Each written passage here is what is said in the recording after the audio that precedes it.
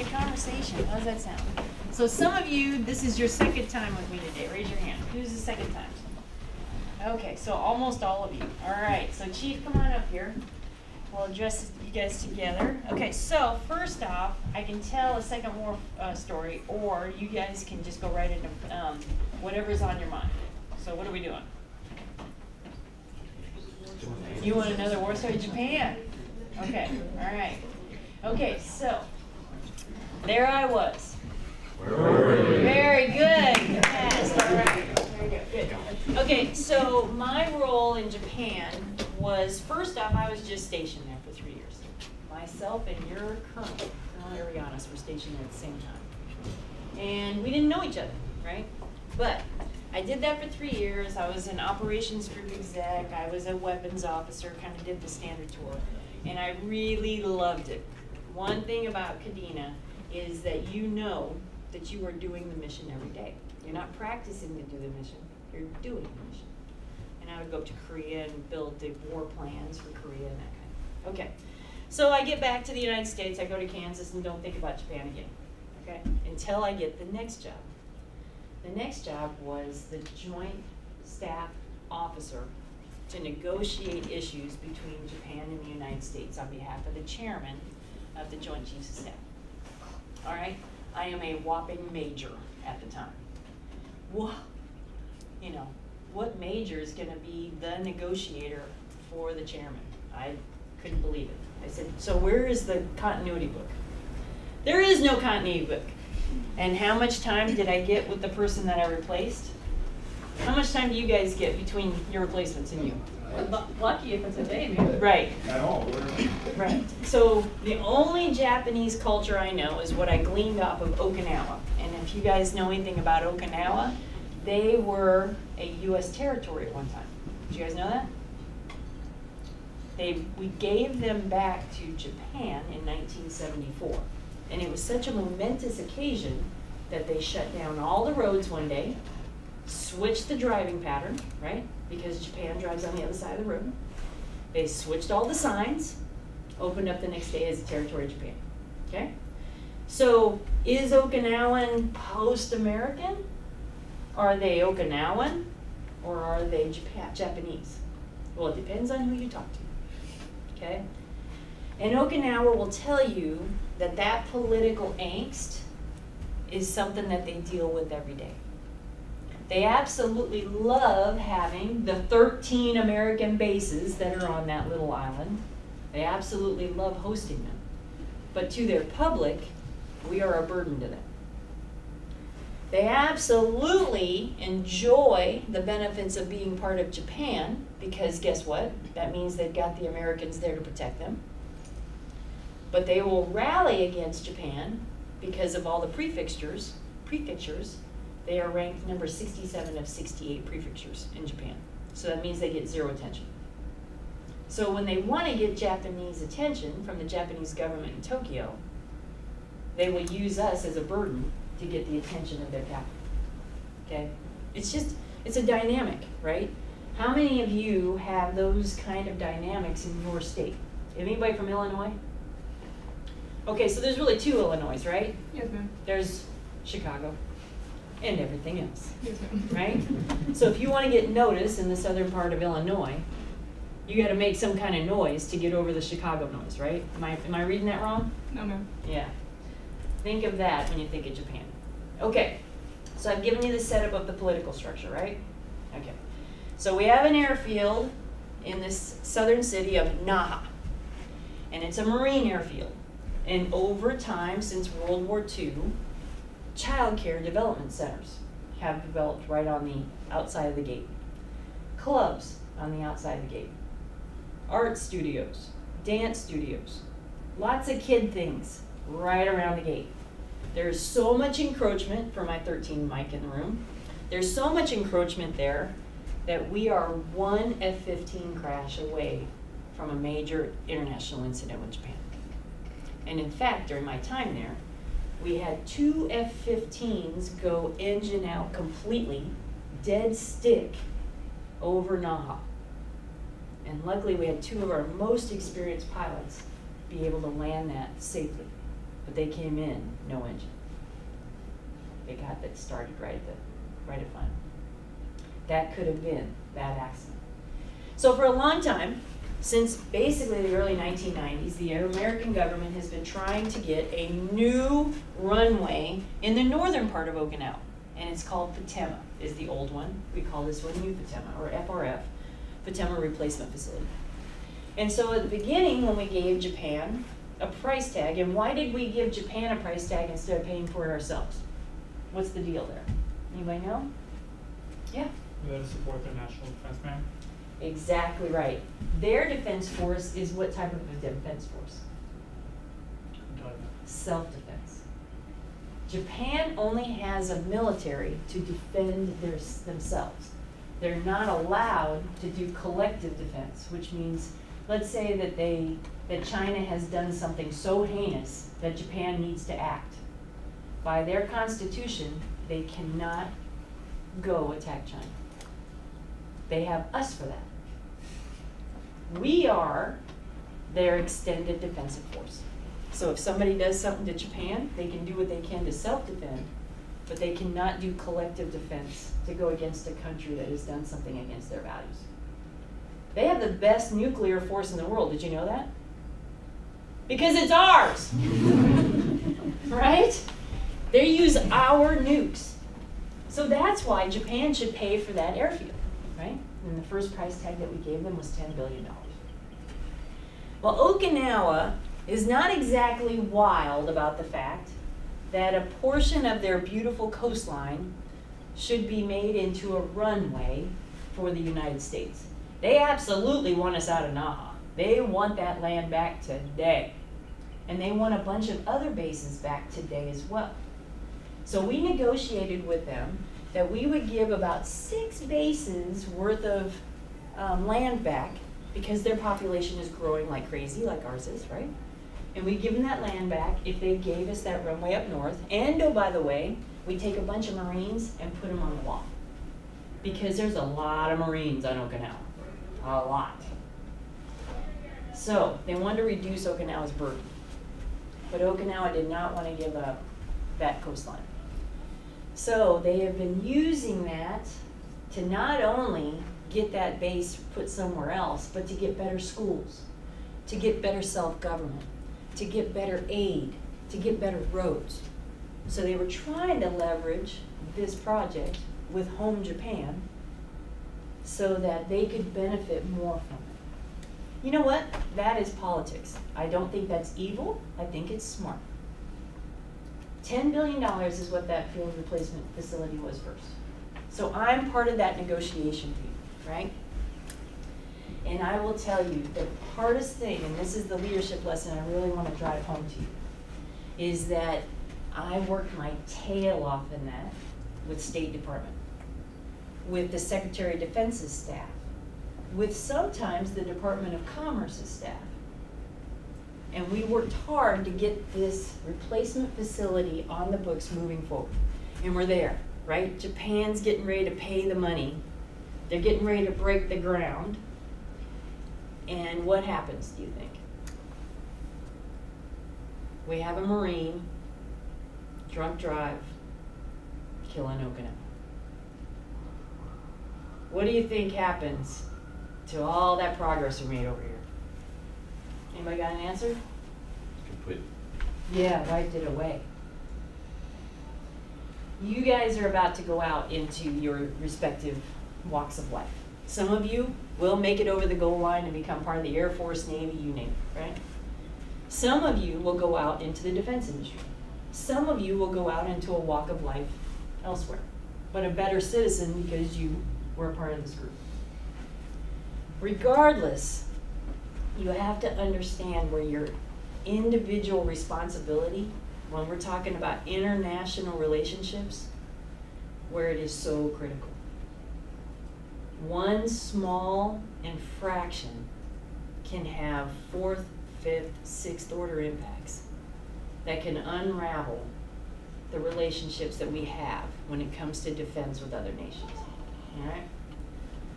Uh, So I told a story yesterday over at Ohio State about being in Cameroon, where I had a major come up during a press conference that I was having with the governor of the city of Douala, Cameroon, where he was about to give me bad news. And the cameras were there because it was such a big event for Douala that they were recording it to put it on the news. And I had a major come up in a wife beater shirt. Have you guys ever heard those? You know what those are, right? Right? Did I offend anybody by using that term? Okay, so this white beater shirt, right? And long basketball shorts, right? He's kind of looking like, you know, I mean, standing out amongst the Cameroonians, right? Because, yeah. And he comes sauntering up while the cameras are right here, and I'm with the governor of the city and the joint staff member who's in his ceremonial blues for the Cameroonian army. And he comes up and he goes, Hey, dude, you want to swap rank? Right in front of the cameras. What do you think I did to that poor major? What I should have done, right? I took his knees out, right? Um, you have to really be policing yourself when you're out in those communities. Now, is that only overseas? No, guys, no. How much percent of our nation has worn the uniform? Less than, right? Less than one percent. And there's gonna be some communities that are super military friendly. And then there's gonna be some that are not. And you may be in a case where you approach a, a family in uniform that may have not had a great experience with somebody in the uniform. You never know who you're gonna encounter. So that self-responsibility is something I want you to take away from this. International relationships, you are going to be the spokesperson way before you think you should be. I was the senior US person signing treaties over in Cameroon as a colonel. Because the embassy didn't want to come down and do it. That could happen. You just don't know. But that's the good thing about this career too. You get to do some cool things like that. And you're gonna get to do it all over the world. I don't think Chief has heard me tell a story about Iraq, Afghanistan, or any of the normal characters that we talk about when we talk about where we've been over the last 30 years. That's because I have had the opportunity to have missions well beyond just those. Lots of places. You get to do it. All right. So, we have kind of the same crowd from this morning, Chief, so we can continue on with some questions and answers if you'd like. Yes, ma'am. All right, is that what you guys would like to do? Or is there a topic you'd like to talk on, or debate on, even better? Who's my first gracious volunteer to get this conversation going? You're getting three doses of me today. Oh my gosh, you're gonna be so ready to see me go. Go ahead, sir. Um, You're, you're up. Ma'am, Cadet Devin Napsiger, Cadet Fourth Class. Who was the most influential person in your career? Ooh, okay. Chief. I will tell you, for me, is actually she a retired chief. Um, what she, uh, I was a young staff sergeant, and what I learned from her, she was a, a chief master sergeant. She always took the back step and kind of provide us the guidance and let us fail. I failed multiple times under her leadership, but she was always there to support me and told me that, hey, that's exactly what you're supposed to do. That's how you learn. Uh, just being able, knowing that even though I knew I was gonna mess up, but she was always gonna be there to guide me and support me. So, and she, uh, her name is Chief Master Sergeant retired, um, Maria Cornelia. So, And she actually did my promotion to chief, even though. Oh, that's even better. Yes, yes, ma'am. Who's yours? My captain. All three of them. Oh, so diplomatic. Okay, so let me see if I can guess which one it is. If you're thinking about your captains and your most fondest memory comes about, what is that memory? Grades have not been submitted yet. Be very careful. Um, I go, I'm the wing executives, so I go to a lot of uh, staff action meetings, and probably Captain Evan Glenn there has been very on top of things with wing staff. Oh, you could have just said Captain Glenn too and made me guess. That was awesome. Okay, that's good, right? Yes. Yeah, it kind of impacted you that day. Did you tell him? No. You know what? That is the case though, right? I get emails every once in a while by somebody that I haven't thought about in a while. And they'll tell me a story about, you said this thing. And you might not even think, you didn't, might not even thought that it meant something. but it did. You're, that's gonna happen to you, my friend. So it's okay to tell the Mr. Glenn that he has impacted you. Because I gotta tell you, you just made him have the energy to go on for a hundred more of you. So, it's pretty cool, isn't it? Yeah. Okay, so I've been dodging the question. All right. So my um, my most impactful leader would be Major General James Vechery, retired Lieutenant General. Excuse me, Lieutenant General. Um, and the reason why. So he was my wing commander when I was having my babies. So I had Luke Maher when I was a major, and I had Nick Maher as a result of right after a deployment. That is the magic key for all of you. Um, uh, and I had Nick Maher 15 months later. And I will never forget that uh, the job I had was called XP.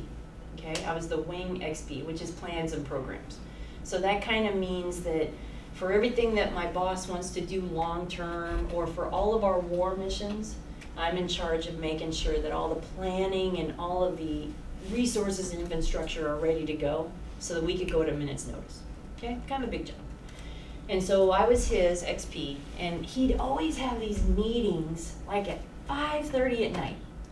Well, if you don't know anything about the daycare system, right, you take your kids and you drop them off at daycare, and there's this point in the day where if you're not there to pick them up, the bad man comes and gets your kids, right? And then you're the bad lady for not getting your kids. And that was six o'clock in Wichita.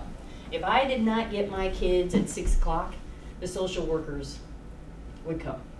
Okay? And so he'd have these meetings at five thirty. Well, when does that mean that the meeting ends? Six, six thirty, you name it, right?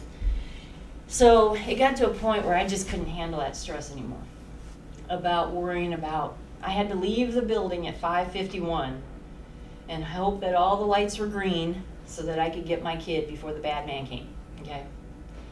And so I finally screwed up my courage and I said, Sir, I need you to let me leave at 551.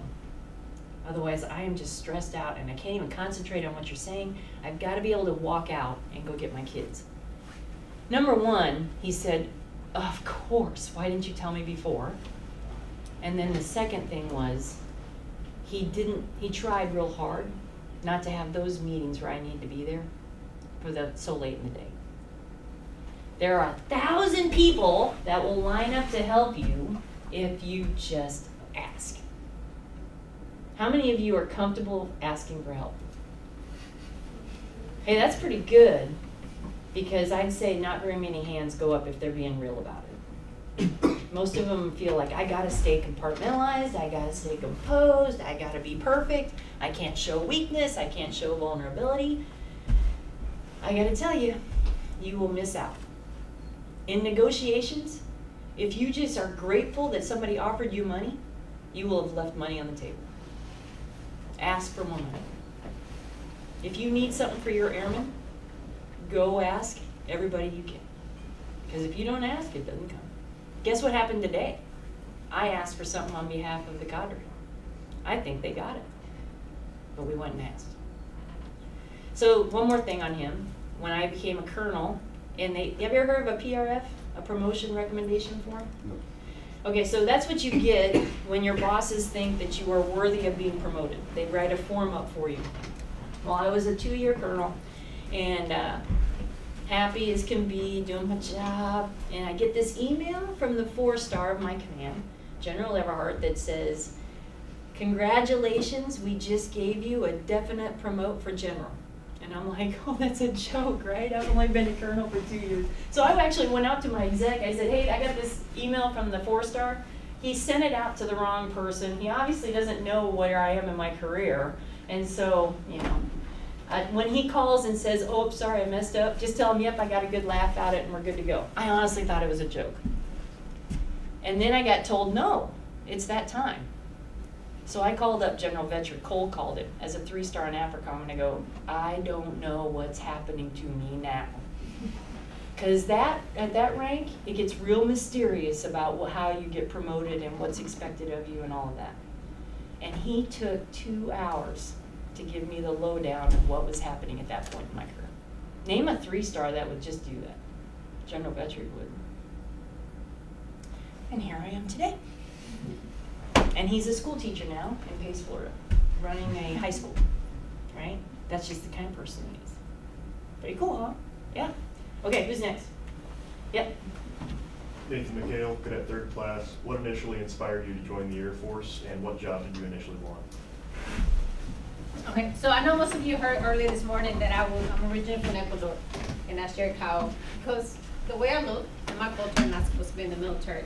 So, but even when I was growing up, I always see, you know, the commercial, um, and there was something that always caught my attention about the uniform. Um, so when I got to New York, did high school and all that stuff, and I kept seeing it more and more, uh, it's just something in me just kind of like, it kind of light up the, the fire again of being in the military.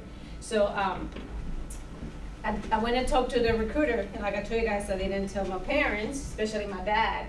Um, but it just it gave me it gave me a sense of purpose when I went and talked to the recruiter that I could be part of something bigger and most important, kind of get back to yes, it may sound cheesy, but yes, I'm one of those that is serving because I wanted to give back to this country for the opportunity to offer to my family and I. That that's why, and I'm still here. I'm still loving it. Um, and career field, um, I knew I wanted to come in uh, personnel, so I spent a lot of time studying, and that was the only area that I concentrated. And I told the recruiter, I'm not gonna, cause I I have to wait like six months to come in. I was in the delay enlistment program, that's what it's called. Cause I told him, he's like, well, we can get you in tomorrow. I said no.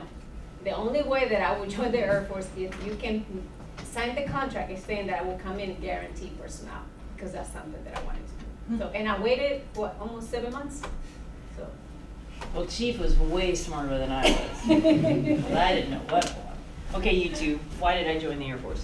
It's not glamorous, so you go ahead and tell them. Um, to get out of South Dakota, Yep, to travel more. Yep. And to further education. and my parents were broke, right?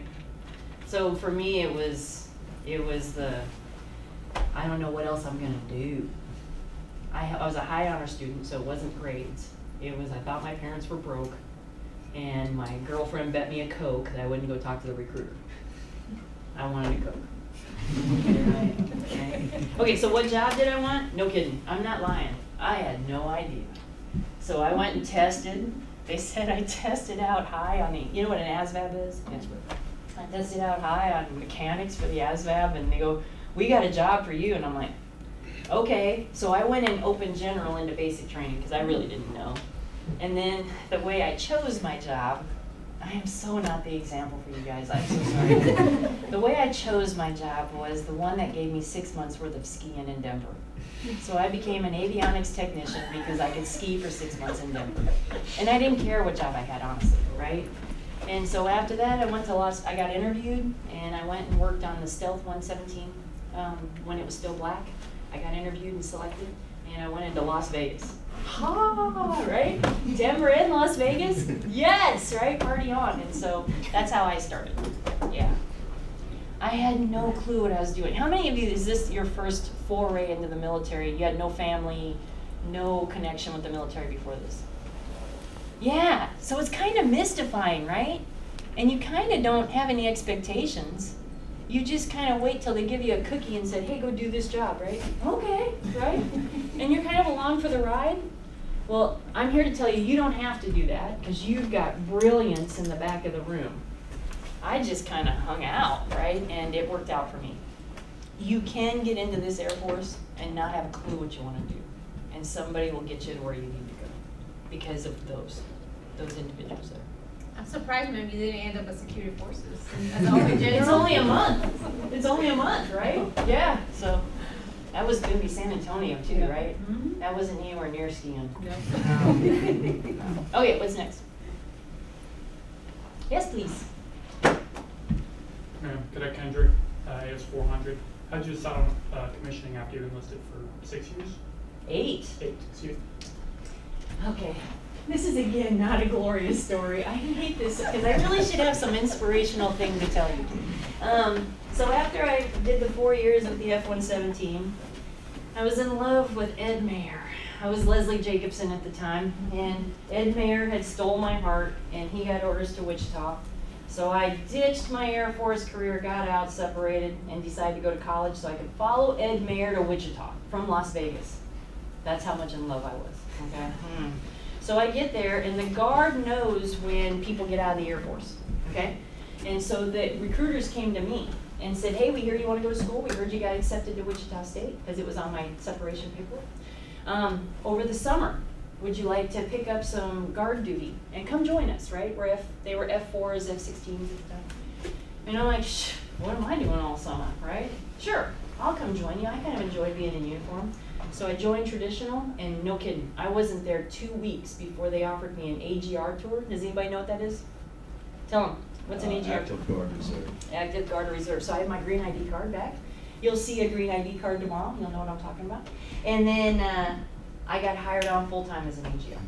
And they let me work at night, full time, so I could go to school as a full time student during the day at Wichita State, like a, like you guys, right? Didn't know anything about ROTC, so that didn't hit me. Okay, so I promise I'm getting to my point. So at the end of four years, I'm getting ready to graduate. I'm in year three, junior. Ed Maher comes home from his job of being active duty at McConnell. And uh, we were across the runway from each other, guard on one side, active duty on the other. And he goes, You're not going to believe this, I got orders to Italy. And I'm like, "Mm." So, how many guard units are in Italy? I'm like. And I was going to be a chief. I was like making rank, right? I had just gotten selected for master sergeant. Um, I was just waiting to put it on. I had put tech sergeant on. And I was like, I'm gonna make chief. And then now I'm not gonna make chief because I can't. fall." And I was, I was still madly in love with him. We weren't married yet. Mm. And then, um, so, so um, I called the recruiter and I said, hey, can I take a bust in rank and come back into active duty um, as a? I'll come in as a senior airman. I was ready to negotiate that low. I'll come in as a senior airman. There was a hiring freeze and they wouldn't take me. But the recruiter, being very savvy, goes, hey, I'm gonna pass you to somebody. Because have you ever thought about becoming an officer? You're 18 credit hours from being done, and we're hiring navigators. You've got this experience behind you of being a maintainer and personnelist by that point. And I'm like, oh no, that sounds good, right? So I followed that bread trail. I called my husband up, who was in Italy at this time, and he goes, I said, you got two shots to say no. I'm thinking about becoming an officer. He goes, yeah, that sounds good. I'm like, wait, wait, wait. you got another shot. This is what it would be. And he still said yes. So I went to OTS. Uh, my guard unit happily put letters forward. So either they were really trying to get rid of me or they, they love me. I hope is that they love me because they gave me glowing letters of recommendation and I came back in that way. So for six months between my guard time and my officer time, I was a Air Force spouse, a dependent spouse while my husband was in the Bosnia and Herzegovina um, fight over in Italy. And so I got to spend five months in Italy, get refreshed, came back to OTS. They started yelling at me about my shoelaces not being tucked into my shoes. I looked at my car. I'm like, I could go back to Italy right now instead of yelling about my shoelaces. But I crossed the blue line and here I am. And so, yep. Not glamorous, not the way you'd expect, but guess what? Every one of your airmen that you're going to encounter probably has a story as crazy and disjointed as that one. But you stay because of service. You stay because you almost feel naked when you don't have this on. And so, 34 years later, the crookedest road possible, I've got to have a pretty cool career. Yeah. So, yeah, thank you. I scared you guys. Okay, go ahead. Yeah, Cadet Third Class Circle Back. Um, I was wondering if you had any recommendations or anything like that for people to balance life in the military with their family, Hmm. especially since you have a joint spouse situation. I did, yeah. I'm still trying to figure that out, man. yeah, um, yeah, I'm serious. I'm still figuring that out. I do have set up some. uh, Now, I'm not gonna say rules, but Mandarin and General Maher is amazing about that. Um, when I get home, I put my work phone in the kitchen. I leave that there. Um, I check my emails twice a day during the weekend, and if it is not an emergency, I will take care of it on Monday. Um, I try to be, when I'm home, I try to be home to be with my family, to build those memories like I told you guys earlier. But honestly, I'm still trying to figure yeah. Captain Jones, how balanced am I? Very balanced, ma'am. Oh, jeez. So not, right? Yeah. So not. But Um, Go ahead. have sacrificed, so for the better good of her family, she has left them in Florida and she travels, she'll drive. Didn't you drive before your PT test, ma'am? Three hours from Florida to Montgomery on like a Monday morning or something and took her PT test. So she makes sacrifices for the family life, but it's not balanced. So we joke. we, she's so right, right? So we joke. Um, do you guys know anything about accident investigation? You guys do, right? Okay. So when an accident happens, let's just say that we torpedo an F-16 into the ground and it, it requires us to go back in and find out what happened, okay? So what happens is, is once we figure out that it's not a mechanical failure, which is um, pretty easy, that happens in almost the first five days of the accident investigation. Where do we turn our focus? To the, and his human factors or her human factors. I gotta tell you, if there was ever an aircraft accident about me, I am worried about what my execs would have to say, right? Because they'd be like, did the person get enough sleep? Nope, not since my kid Luke was born uh, 15 years ago. Probably not, right? I live on about six and a half, if that's it. But um, yeah, about six and a half to be real. Um, do I work out enough? I think I do okay there, to be honest. I think uh, I'm hitting it about five days a week consistently.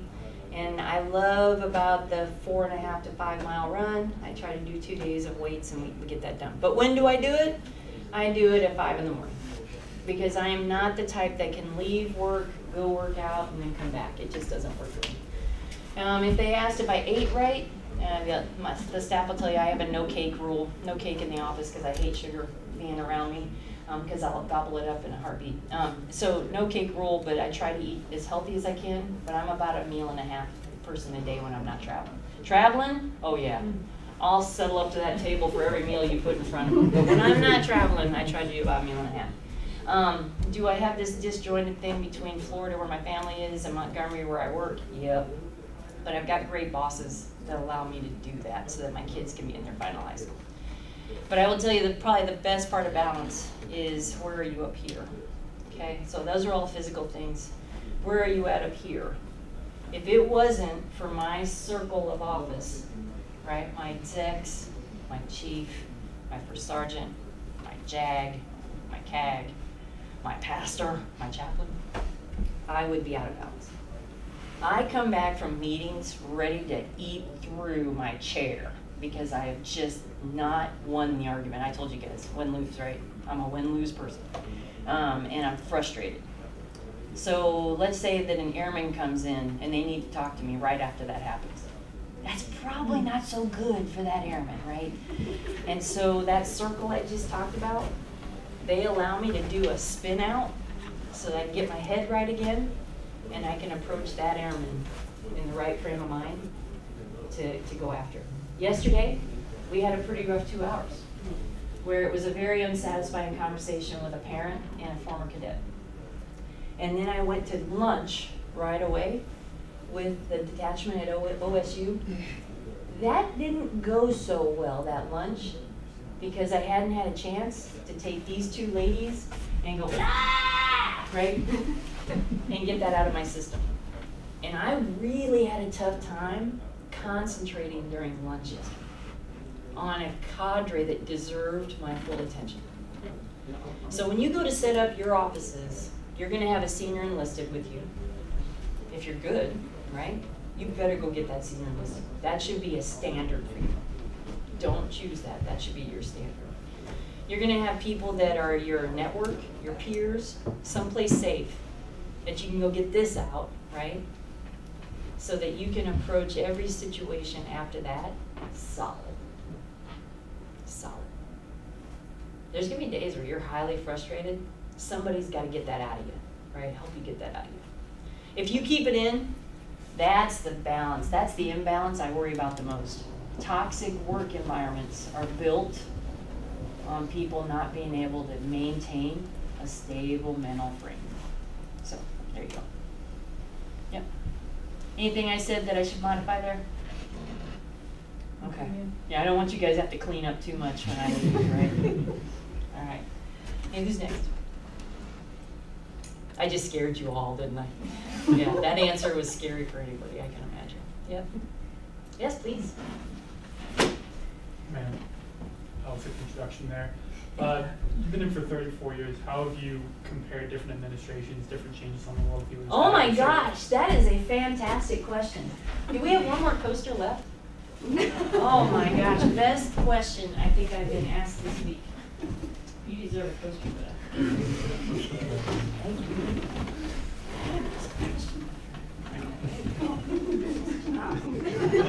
you. So yeah, it's crazy town, okay? Um, just to be honest, right? Because we stay pretty stable. We know how to handle change. I mean, you're gonna have different commanders, right? That's gonna kind of feel like a different administration when it comes through. But we just kind of absorb it, figure it out, and truck on, right? But when it's the president, that I would say the craziest part is how the Pentagon acts and the urgency that comes with getting that new administration in.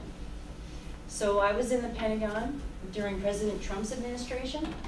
Do you guys remember some of the things that were going on during that time at the Pentagon? Can anybody name some of those things? Go ahead. And ISIS pretty much spread over the entire Middle East. Yeah, we were dealing with that. Um, how was he with his staff? He's firing everybody about every two weeks. Yeah, so how many secretaries of defense did we go through in his time? Right? That's tough, right? And if you guys know General Mattis, and you guys probably don't have the same connection that we do, but General Mattis, right? I mean, you want to talk about probably a general we all would aspire to be.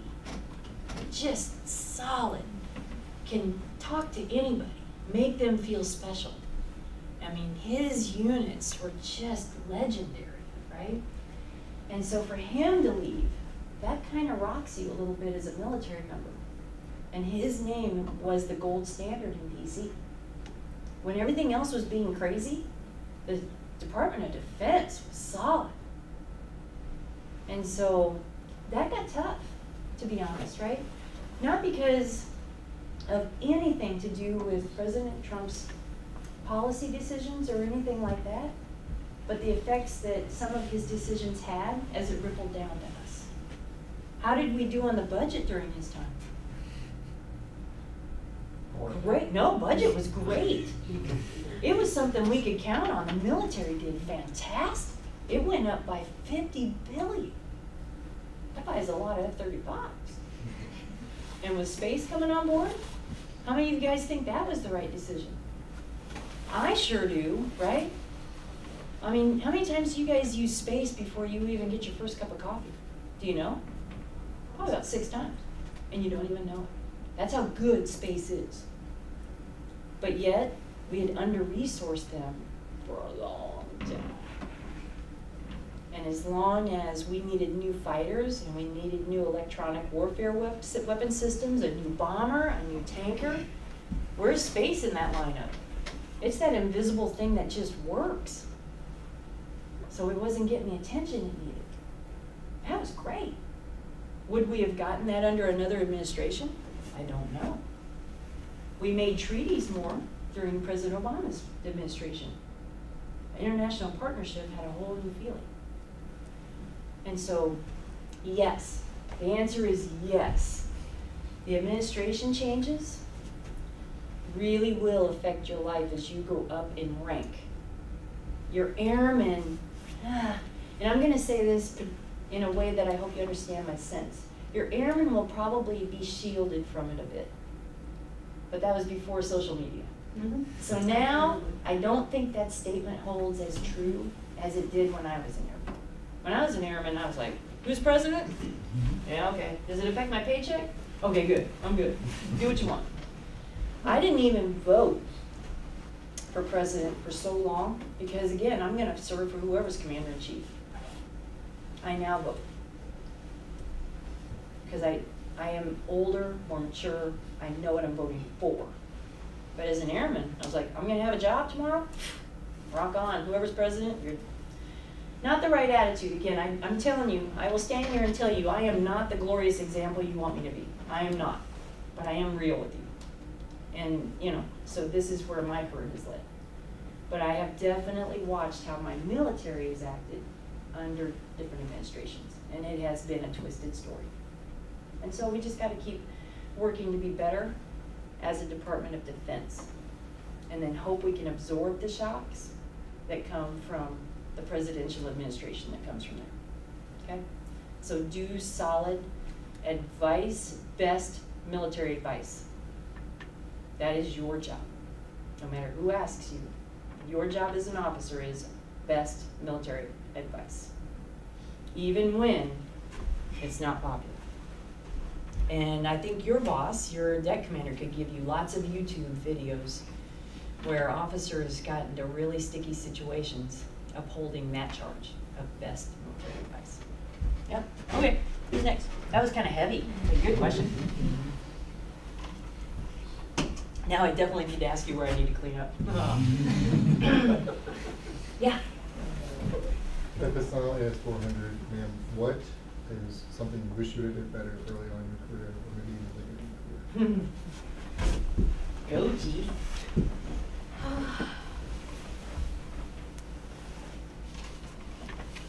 Probably going back to one of your uh, teammates' question was balance. Yeah. I will tell you, I've missed a lot of special uh, moments with my kids and my husband. Try and probably be a little more selfish with my, my family time.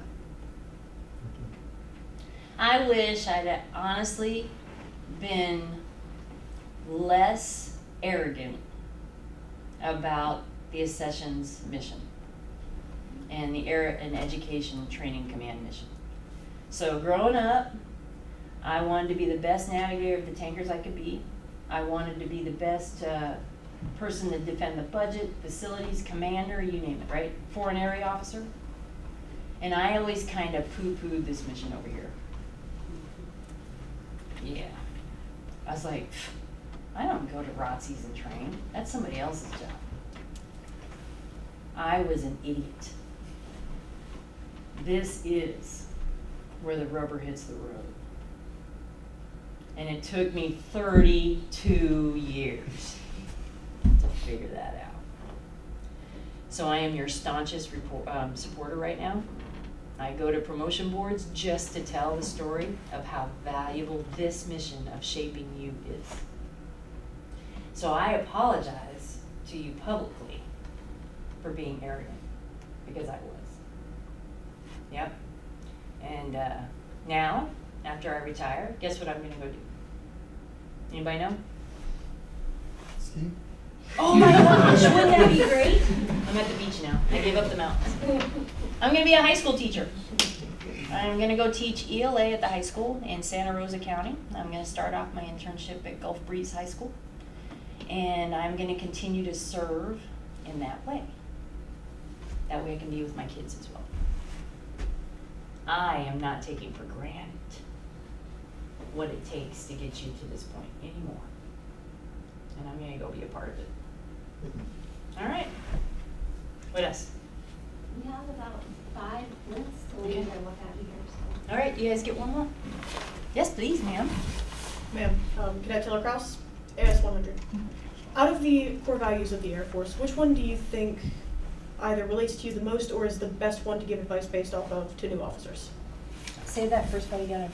Um, out of the four core values, or not four, sorry, Three. three core values, yep.